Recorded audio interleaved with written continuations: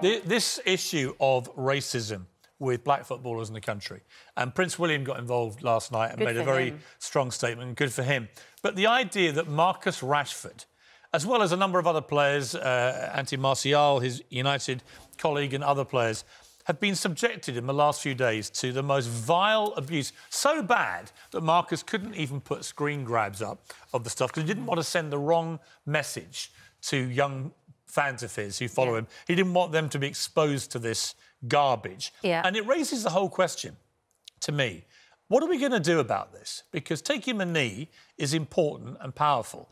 But these, these morons, these racists on social media, still feel completely empowered to spew this racist abuse. We've still got the Black Lives Matter black warnings uh, adorning all football stadia, and yet these footballers are still receiving these comments. Marcus Rashford tweeted, Humanity and social media at its worst.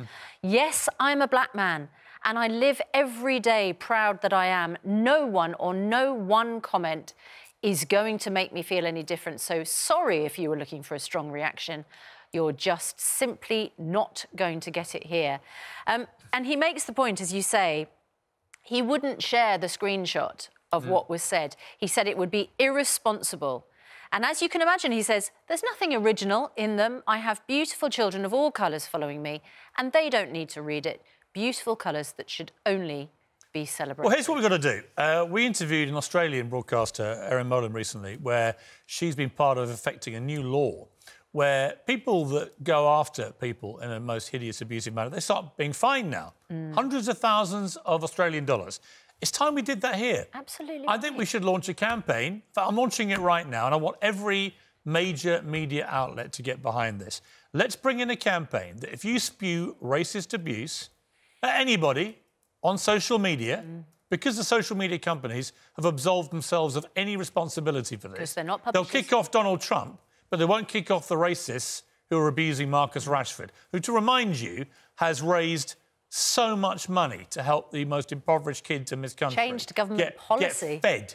Get fed. Yeah. And they weren't just little black children, they were white kids and brown kids and every other form of child, right? Because he doesn't discriminate. And yet these racist yobs, thugs, criminals, actually, I would imagine in some cases with some of the well, police are investigating the abuse. We've got to start finding out who they are. I mean, mm-hmm. I've said for a long time, social media should have an obligation. You have to give your real name and your real picture and your real workplace in your profile. So we all know who each other is.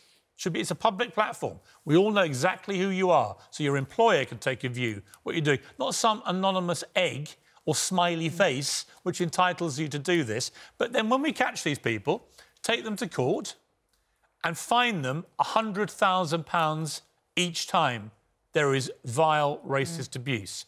And let me tell you, it stops in a month. It stops in a month. You start handing out 100 grand fines to these people, as they're doing in Australia, it stops. We've got to do this. Why should, why should these footballers be subjected to this kind of abuse? It is absolutely disgusting. And we've got to find the people doing it and we've got to hold them properly to account where it will really hurt them. so the government... It hurts them by finding them Yeah. enough money that none of them want to do it again. The government held a meeting with uh, several leading black figures uh, within the game last week to discuss this problem. And they are expected to present a new online harms bill before Parliament this year, which the government says will require tech firms to take action so that what is unacceptable in the street and in the stands is unacceptable online as well. Quite right, too. Just, we've got to get a grip of this. I can't we- imagine what it would be like. You come off the pitch and you go onto your social media to reflect with Mm. fans on the experience of the game, and, but you know, because they know they're going to get it, and it's absolutely sickening and totally disgusting Yep. and actually criminal. Yeah, So let's, but let's let's find them. let's find these people. Just take them to the cleaners financially. That'll stop it. I'm telling you, that will stop it. Mm. It stopped it in Australia, largely, uh, because they're now getting fined 100 grand. We let these people get away with it. It's completely outrageous.